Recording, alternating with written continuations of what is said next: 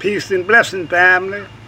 This is Elder Rahson Shakur out of the great city of New Orleans, Louisiana, coming to you with another great and informative video. Peace, blessings, and love to all the melanated family and mankind.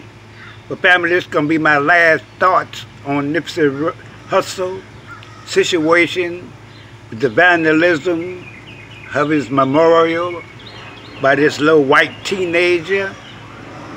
I didn't see the whole video, but I got the rest of it this morning, so here's my thoughts. Black people, to me, is scared of white folks. This little white girl was up there calling, saying the word nigger and fucking up everything.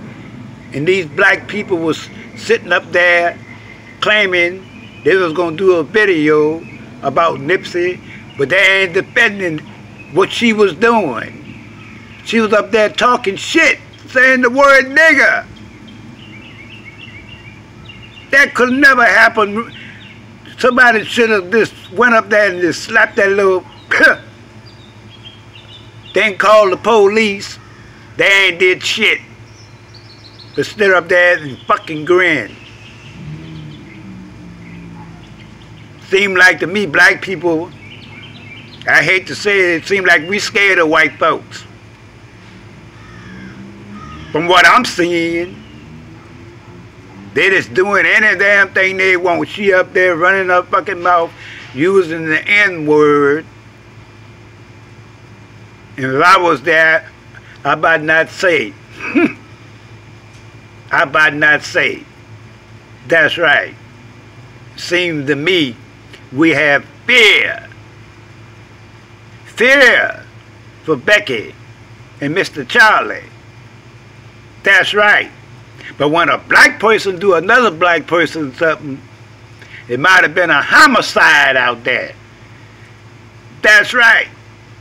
If it would have been a homicide, everybody probably would have jumped on him and beat the shit out of him.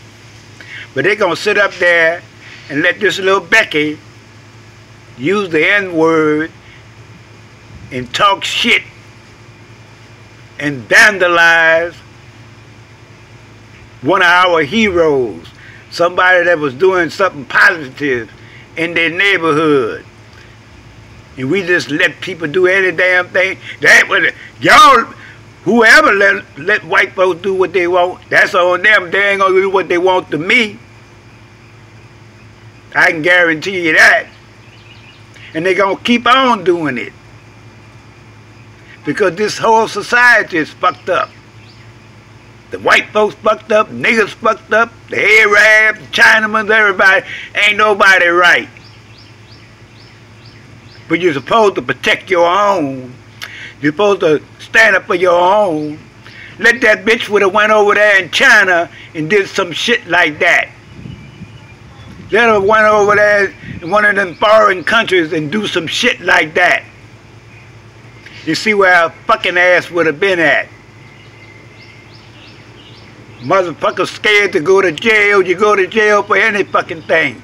But you don't defend your own. But you'll kill your own.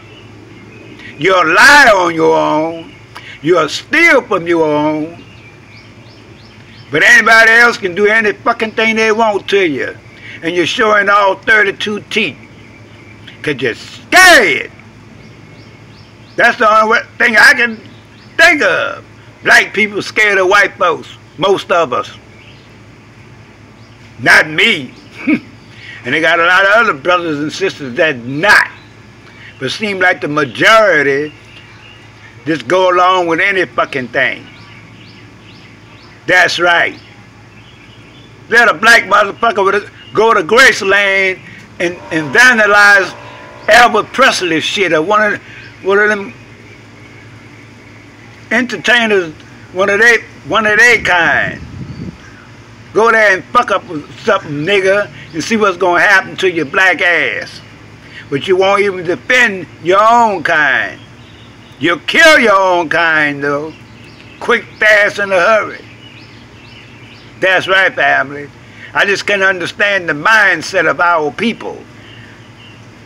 That we can let everybody do everything anything they want to us, but when we do something to each other, it's a homicide. Even little children out there killing each other. That's right. Hate, hate, envy and jealousy is in the hearts of black people. And but we love everybody else. We love everybody else but your own kind. It's sad. But family, I'm going to cut this video short. Peace and blessings. Might be some backlash. I don't give a motherfucker. I'm just telling the goddamn truth. About to get out of that mindset. Although listening to this video, please subscribe, put up the likes and shares, and stay tuned for the next video or live stream. And I'm out.